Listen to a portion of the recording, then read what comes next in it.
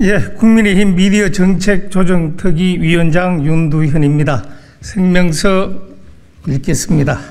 사장 선출을 둘러싼 KBS의 난맥상은 어떤 논리나 어떤 명분으로도 납득되지 않습니다. KBS는 계속되는 공정성 논란으로 국민들의 신뢰를 잃은 데다 방만한 경영 논란까지 겹쳐서 개혁과 혁신의 대상이 됐습니다. 공영방송으로서의 위상을 상실한 채 백척 간두의 위기에 서 있는 것입니다.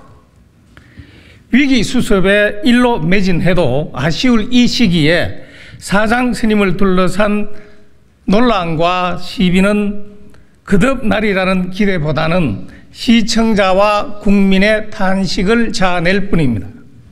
국민의 방송이라는 위상을 되찾기 위해 제2의 개국 수준의 혁신이 필요한데도 불구하고 알량한 기득권을 염두에 둔 반목과 갈등으로 새 사장 스님의 난항을 거듭하는 것은 어떤 논리로도 비난을 피할 수 없습니다.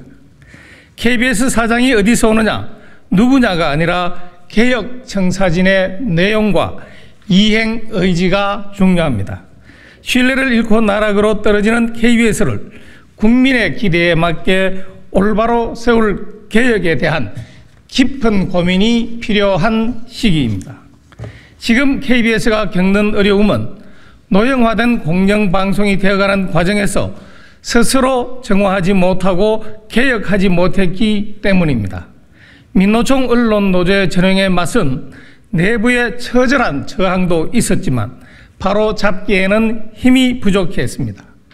사장 추천권을 가진 KBS 이사회도 더 이상의 난맥상을 드러내지 말고 공정한 국민의 방송 KBS로 거듭나게 할 사장을 하루빨리 선임하십시오.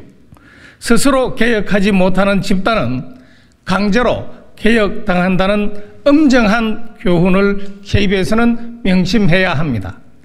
2023년 10월 6일 국민의힘 미디어 정책 조정특위 위원장 윤두현.